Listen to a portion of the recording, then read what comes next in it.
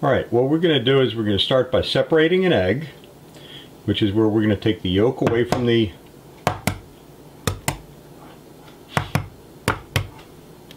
white. Because what we're looking at is getting the white. What we're going to do next is we're going to set up some recipients that we're going to put materials in. We've got alcohol. We put in an eighth of a cup or one ounce of alcohol. We're going to use vinegar.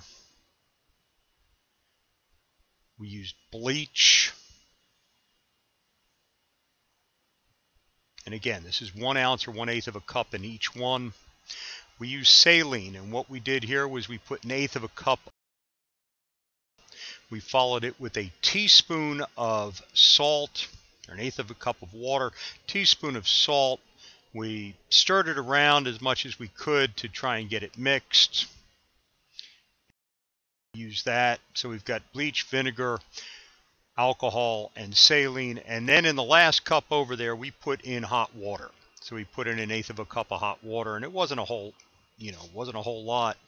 We then added one teaspoon of egg white to each one of the cups. Once we did that,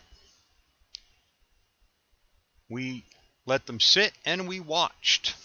And you can see already we're starting to get something going on in the alcohol before anything really happened. We watched them over time. This is a time lapse of about 20 minutes, maybe 30 minutes, compressed down into about one minute and you can see that you're getting some changes in there. You can see some differences. The alcohol seems to be working real good compared to everything else. And what we want you to do is just do that and give us a, you know, a picture of it, what you got in the end. We were observing it at several times through this. We did see some wispiness in the hot water and in the vinegar. Uh, bleach kind of lumped stuff up. You can see a little white dot showing up in there. The saline didn't seem to do much, but you know that's uh, that could be par for the course. And then in the end, we took a toothpick and we kind of stirred things around to see what they looked like. Now, another way we do things is we took some boiling water and we chucked the egg white in there just to see what it did.